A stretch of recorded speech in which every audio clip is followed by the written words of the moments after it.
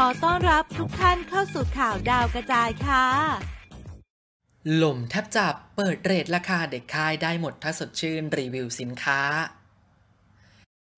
หลังจากเกิดกระแสดราม่าใหญ่โตของเจนนี่รัชนกสุวรรณเกต หรือที่รู้จักกันในนาม เจนนี่ได้หมดถ้าสดชื่นที่ช่วงนี้มีหมอดูออกมาชี้ชะตาถือว่าดวงตก จากที่เห็นว่าเธอมีดราม่าเรื่องจัดคอนเสิร์ต คนดูก็ไม่สวมแมส ไม่เว้นระยะห่าง มาถึงเรื่องไม่แบ่งผลประโยชน์ให้กับก้าวเกิกพล แถมให้เงิน 500 บาท ค่าออกรายการล่าสุดโลกออนไลน์ได้มีการแชร์รูปภาพจากโพสต์ของชาวเน็ตท่านหนึ่งที่ได้ออกมาโพสต์ ภาพแชทขณะที่คุยทักไปติดต่อสินค้า ให้เด็กในค่ายได้รีวิว แต่เมื่อรู้เลทราคาถึงกับลมจับบอกพักก่อน โดยชาวเน็ตรายนี้ระบุข้อความเอาไว้ว่า